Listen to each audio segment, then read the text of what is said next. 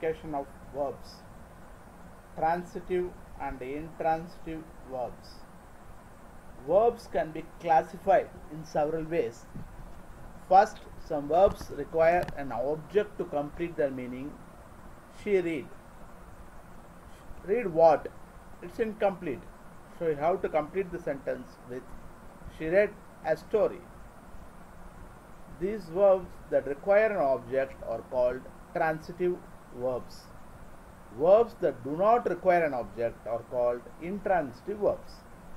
Note that most verbs can be both transitive and intransitive.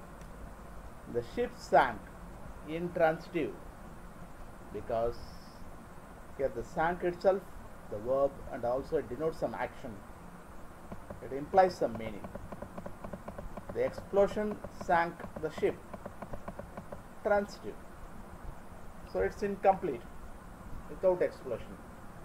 Thus ship. There is no meaning. Some verbs can take a direct object and an indirect object. These verbs are sometimes called ditransitive verbs. Of course, this is not a term you will hear every day.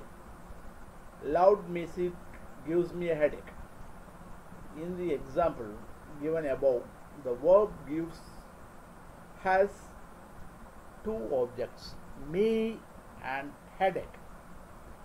There are two objects that is me and headache. Finite and non-finite verbs.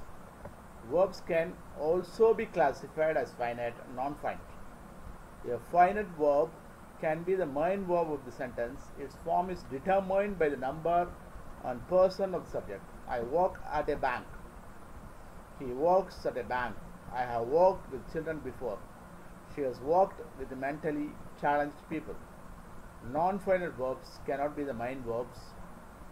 There are mainly three types of non-finite verbs. Infinitives, gerunds and participles. Linking verbs. A linking verb connects a subject with its complement. These verbs are often called as copular verbs or copulas. Most linking verbs are forms of the verb be, that is, the state of being. It denotes the current state of a person or a thing. She is my sister. Who is she? She is my sister. We are happy. How are you? We are happy. They were shocked to hear the news. They were shocked to hear the news. It shows how shocked the state of being of that particular group or a person. A few of the verbs related to the five senses are also considered as linking verbs. Examples are look, feel, sound, taste, smell. These are all connected to your senses. So, it shows your state of being again. Some stative verbs are also considered as copular verbs. Examples are appear, seem, become, grow, turn, prove, remain. Note that linking verb should be followed by a noun or an adjective.